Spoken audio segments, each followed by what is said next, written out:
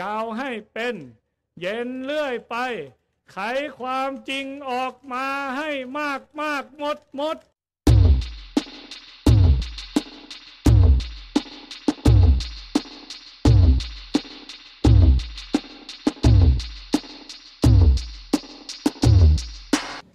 เหตุมันแท้ๆเนี่ย เหตุมันแท้ๆก็คือ นักการเมืองกับข้าราชการน่ะ ไม่มีธรรมะใช่ไหมตัวหลักมันจริงๆอะนะตัวหลักจริงๆแหละคือเขาไม่มีธรรมะกัน ถ้าเขามีธรรมะแท้มันไม่เป็นอย่างนี้หรอก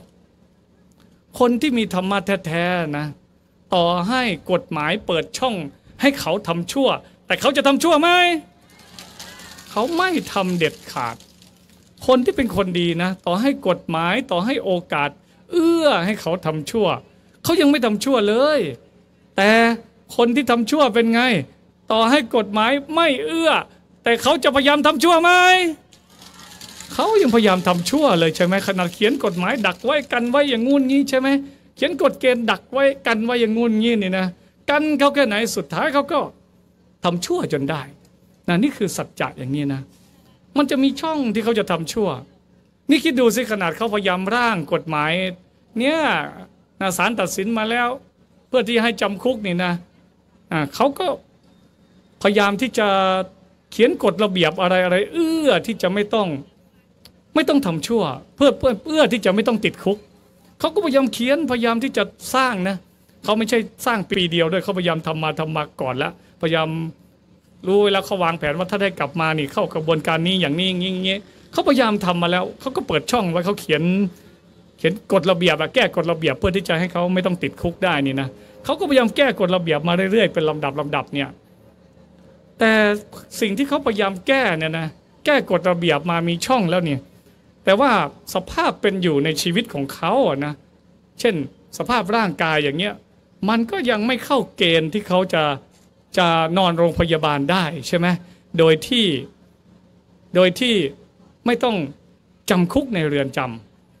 มันไม่เข้าเกณฑ์อะสภาพร่างกายเขาจริงๆเนี่ยมันไม่เข้าเกณฑ์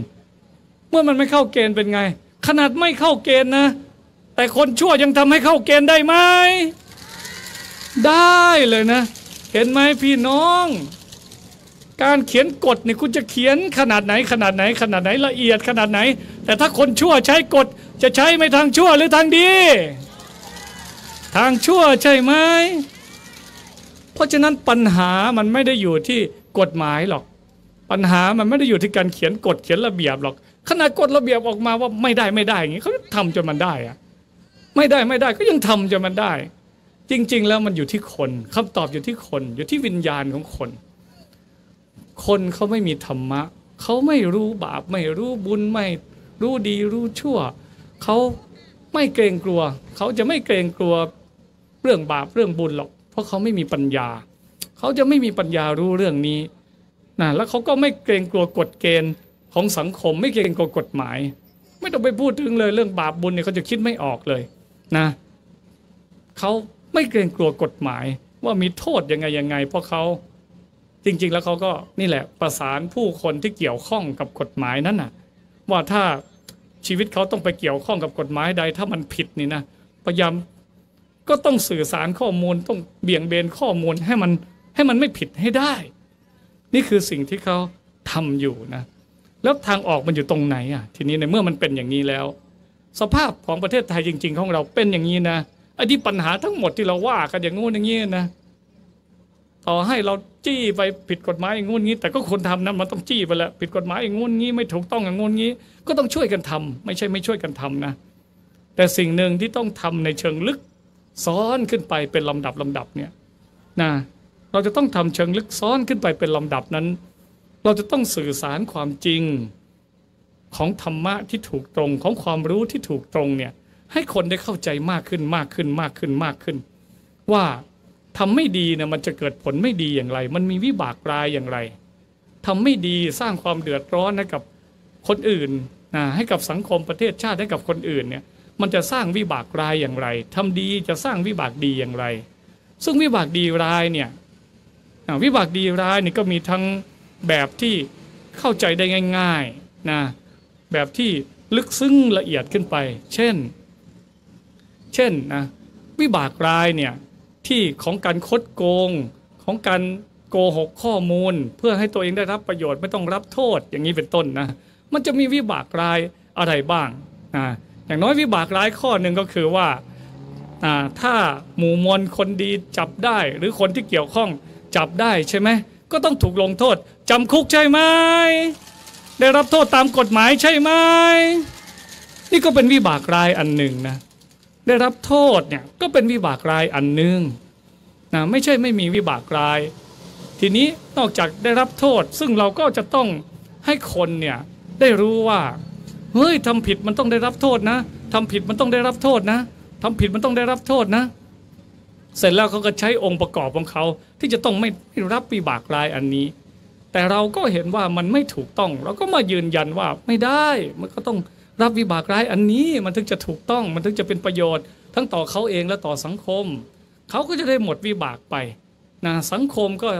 นะจะได้ไม่ต้องหวาดกลัว ไม่ต้องทุกข์ไม่ต้องทรมาน แต่มันก็จะเป็นวิบากร้ายของสังคมอีกอย่างหนึง่งถ้าเราไม่มาช่วยกันทำให้มันถูกต้องใช่ไหม แต่ถ้าเรามาช่วยกันสื่อสารว่าอะไรถูกอะไรผิดอะไรเป็นประโยชน์เป็นโทษ มันก็จะเป็นวิบากดีของเราเพิ่มขึ้นไปเรื่อยๆ ใช่ไหมมันจะเป็นวิบากดีเพิ่มขึ้นไปเรื่อยๆ วิบากก็คือผล มันจะเกิดผลที่ดีเพิ่มขึ้นไปเรื่อยๆ เพิ่มขึ้นไปเรื่อยๆ เพิ่มขึ้นไปเรื่อยๆ ดีกว่าเราอยู่เฉยๆ พี่น้องว่าถ้าเราไม่ออกมาเนี่ย พี่น้องคิดว่า เขาจะทำชั่วมากกว่าเดิมหรือน้อยลง มากกว่าเดิมแน่นอนใช่ไหมถ้าเราไม่ออกมาเนี่ยเขาจะทำชั่วมากกว่านี้อีกนะ มันจะมากขึ้นไปเรื่อยๆมากขึ้นไปเรื่อยๆมากขึ้นไปเรื่อยๆนะเขาไม่อยู่อย่างนี้นะ มันจะมากขึ้นไปเรื่อยๆอาจารย์ว่าไม่เท่านี้หรอก มันจะมากกว่านี้เข้าไปอีกมากเข้าไปอีกมากเข้าไปอีกเลย แต่พอเรามาทำแบบนี้เนี่ย พี่น้องว่าเขาทำชั่วได้มากขึ้นหรือน้อยลง น้อยลงใช่ไหมเขาทำชั่วได้น้อยลงนั่นน่ะ นะพี่น้องสังเกตปฏิกิริยานะการทำชั่วของคนที่เกี่ยวข้องเนี่ยเดี๋ยวนี้โอ้โหแต่แต่ก่อนเขาก็โอ้โหทำชั่วแบบสบายๆใช่ไหม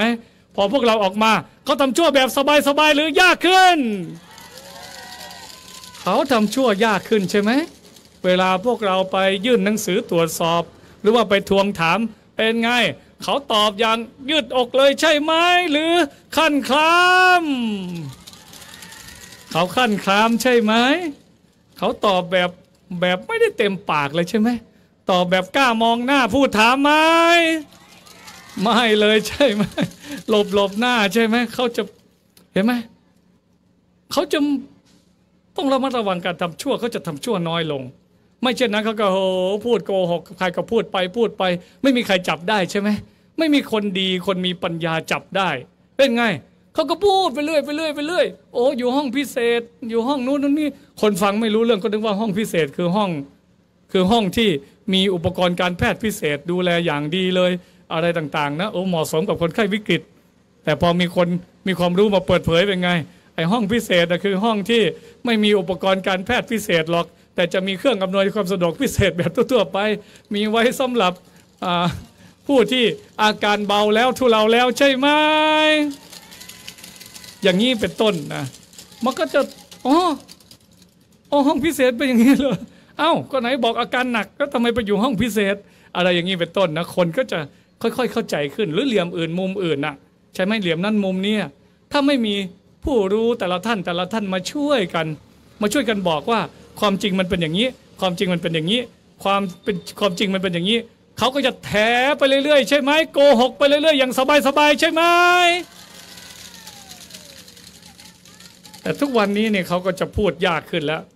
พูดยากขึ้น พูดผิดมาเป็นไง ถูกคนดีมาประจานใช่ไหมคนดีเขาก็จะเอามาประจาน มาประจานนี่จริง ๆ ก็เพื่อให้เกิดประโยชน์กับทุกคนนั่นแหละ ใช่ไหมเพื่อให้เกิดประโยชน์ต่อสังคมว่าชั่วอย่างนี้อย่าทำแม้แต่คนไม่ดีที่ทำก็ได้รับประโยชน์นะ ไม่ใช่ไม่ได้รับประโยชน์นะ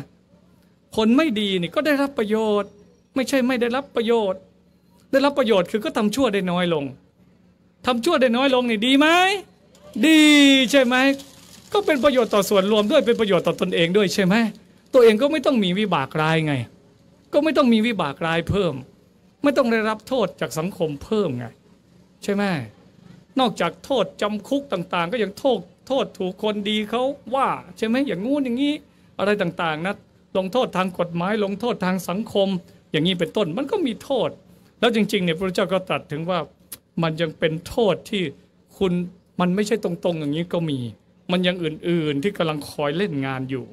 มันไม่ใช่แค่ว่าจะต้องถูกลงโทษตามกฎหมายเท่านั้นนะไอ้วิบากร้ายเนี่ยนอกจากจะถูกลงโทษตามกฎหมาย แล้วเนี่ยถ้าในองค์ประกอบนั้นนะมีคนดีคอยตรวจสอบคอยทำงานต่างๆเนี่ยนอกจากจะได้รับโทษอันนี้แล้วเนี่ยก็ยังนอกจากได้รับโทษที่สังคมเขาประนาม